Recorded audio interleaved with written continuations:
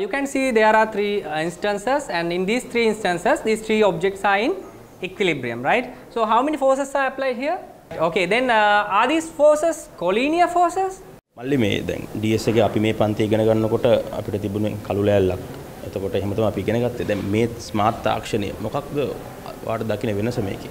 ඔව් අනිවාර්යයෙන්ම ලොකු වෙනසක් තියෙනවා සාමාන්‍යයෙන් අ, අපි අ, දෙයක් ඉගෙන ගද්දි ඒකේ අ, අර අපිට තියෙන උනන්දුව ඒකත් ඒ දේ මතක හිටින්න අනිවාර්යෙන් බලපානවා. එතකොට අ, මේ normal white board එක black board එක කළු ලෑල්ලට වැඩිය මේ ස්මාර්ට් board එකේ අ, ද- අ, ළමයිගේ ලොකු උනන්දුවක් තියෙන ඉගෙන ගන්න සහ ගුරුවරු උගන්වන නවතම තාක්ෂණය අනුව ඉගෙනගෙන ක්‍රමවේදය ගොඩක් රසවත් ක- පාඩම් කරලා ඉගෙන ගන්න වැඩිය දෙයක් අ, අපි ඇස් දෙකෙන් දැකලා ඉගෙන ගද්දි ඒක අ, අපේ ධාරණය වෙනවා වැඩි. Actually, it's much more interactive, and uh, the boring atmosphere is actually changed, and uh, students actually um, give more attention to the lesson. Teachers can show us videos. අපි මුලින්ම වයිට් බෝඩ් වලින් තමයි ඉතින් වැඩ පා උගෙන්නුවේ වැඩ පාවිච්චි කරේ. නමුත් ඊට පස්සේ මේ IQ boards ආවට පස්සේ අපිට අපි කරන පාඩම ඉතාම ආකර්ශනීය විදිහට ළමයිට කියා දෙන්න පුළුවන් වුණා. ඒ වගේම සමහර ඇනිමේෂන්ස් වලින් අපි ගොඩක් අ, විද්‍යාව මම විද්‍යාව ගුරුවරයෙක්. ඉතින් විද්‍යාවේදී අ, ඒ භාවිතා කරපු දේවල් මම හිතනවා අපේ අ, uh, ඉගෙනුම් ගැනීම ක්‍රියාවලිය සාර්ථකව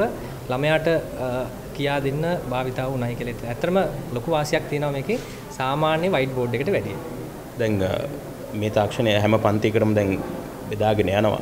එතකොට ඒක ළමයින්ගේ පැත්තෙන් කොහොමද ඕන්නේ? මොකද මේ තාක්ෂණය කියන්නේ පහසු නෑ ඒකට හැඩ- ගැස්සෙන්න ඕනේ. ඔවුන්ගේ පැත්තෙන් මොකක්ද ඒකට දෙන්න අවශ්‍ය? ඇත්තරම ළමයිගේ පැත්තෙන් වගේම මම හිතනවා අපේ ගුරුවරුන්ටත් හොඳ පුහුණුවක් තියෙන්න ඕනේ මේකට තියෙන බය නැති වෙන්න ඕනේ. ඇත්තටම බය වෙන්න කිසිම කාරණයක් නැහැ.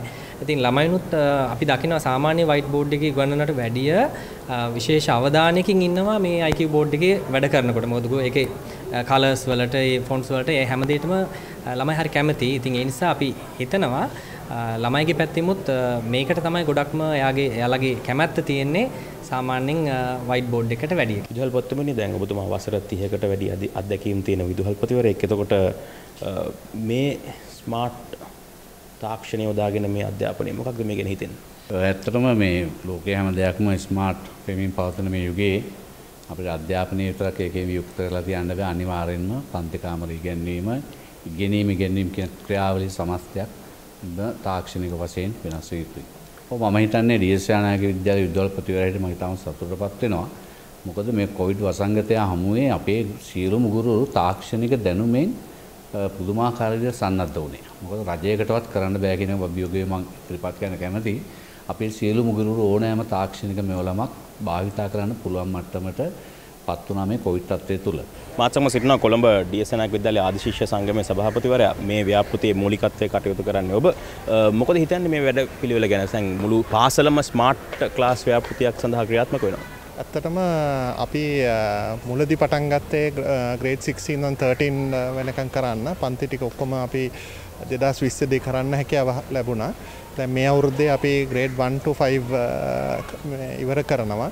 ඇත්තටම අපි අ, අ, ලෝකේ තියෙන ටෙක්නොලොජි අපේ හෙට දවසේ මල්ලිලට ඇත්තරම අපි අපේ පැත්තෙන් ගත්තොත් ඔබිය එක පැත්තෙන් හෙට දවස් ඉන්වෙස් කරනවා. මුදල් සම්බන්ධව අපිට ලොකු අ, අභියෝගයක් තිබ්බේ නෑ. අ, අපේ මල්ලිලා සෑහෙන විදිහට උදව් කරා. එතකොට අ, අද- අද ඇත්තටම දෙදස් හය මල්ලිලා අපිට උදව් කරන්න බැදිල ඉන්න. අපේ බලාපොරොත්තුවක් තිබ්බේ ස්මාර්ට් බෝඩ් හයිකරනවත් එක්කම ඒ ස්මාර්ට් බෝඩ් ඇත්තටම හරියට වැඩ කරන්න නම් අපිට ඩේට අවශ්‍ය නොබෝ කලකින් අපිට ඩස් එක කම්පලීට් වයිෆයි සෝන් එකක් විදියට අපිට ම- මල්ලිලට ටීචස්ලට දෙන්න පුළුවන් වෙයි කියලා අපි බලපොරොත්තු වෙනවා. ටීචර්ස් ලගේ තිබ්බ නොලෙජ් එක දෙදස් විස්සේ කොවිඩ් එකත් එක්ක ලොකු ඉම්පරූමන්ට් එකක් ආවා ඒකත් එක්ක අදර් ගත්තොත් එහෙම ටීචර්ස් ලගේ නොලෙජ් එක හොඳ ත- ම- මට්ටමක ඉන්නවා uh, ඒට- ඊට තමතරව අපි ප්‍රින්සිපල්ගේ ඩිරෙක්ෂන්ස් uh, මත අපි අ, වෙනමම තැනක් uh, ඩිවලප් කරගෙන ගි- යනවා ටීච ඩිවලපමන් සෙන්ට එක විදිහට අ, ඒකේ ඔක්කොම ඉක්විපමන්ස් තියයි පිටිං ටීච කෙනෙ කවොත් නෙලොජ්ජ එක නැතුයි අපිට ඒ තැන පාවිච්චි කරගෙන ඒ ටීචට උගන්නලා පන්තියට ද- දාන්න. දෙදස් හය බැජ්ජක කොහොමද මේ ව්‍යාපෘතිර දායක වුණේ? ඔව් ඇත්ත වශයෙන්ම අපි ප්‍රසාදයත් එක්ක මම අපේ බැච් ප්‍රෙසිඩන්ට් නිලිට මම කතා කරලාදී මට මේක ප්‍රසාදය ඉස්සෙල්ලාම ගිය අවුරුද්දේ තමයි මේ ප්ලෑන් එක කිව්වේ. කමිටිකත් එක්ක කතා කරලා පස්සේ මේක හොඳ ඉනිෂියේටිව් එකක්. අපි මේකට උදව්වක් කරමු කියලා මම මගේ බැච් එකට දැම්මා. හැබැයි ඇත්තට වශයෙන්ම මම ස්තුතිවන්ත වෙනවා 2006 කණ්ඩායමට. අපි සතියක් වැනි කෙටි කාලයක් තුරදී ලක්ෂ හයාමාරක් වැනි මුදලක් අපි එකතු කරා මේ ප්‍රොජෙක්ට් එකට. සාද මේ අවස්ථාවේදී මම ඒ මුදල අපේ දෙදස් සය කණ්ඩායම ප්‍රධානය කරන මේ නෝබියකට.